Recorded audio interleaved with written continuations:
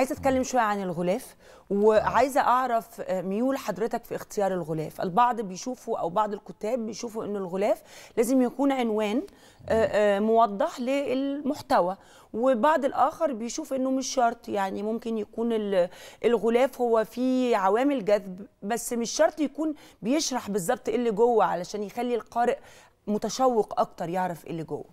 هو الغلاف ليه جانب وظيفي طبعا في في التعريف بم- بمضمون ال- الرواية. آه. لكن في السنين الأخرانية تم الالتفات للغلاف باعتباره إنه مش بس عنوان لل- للرواية لكن كمان في جزء آه، اقتصادي. يعني في جزء ليه علاقة بالكوميرشال.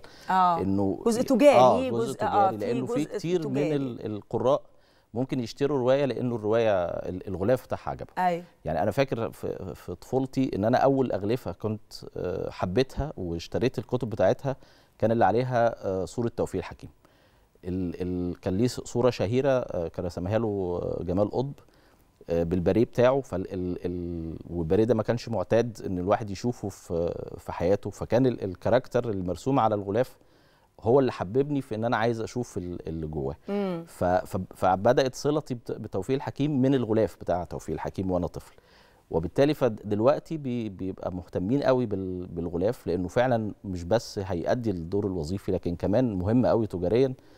كل ما يبقى الغلاف آه، يعني ملفت للعين كل ما هيبقى آه، يعني سبب علشان خاطر القارئ يشتري.